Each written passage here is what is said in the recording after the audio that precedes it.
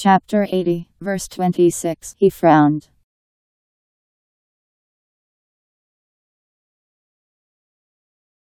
Then split the earth in clefts.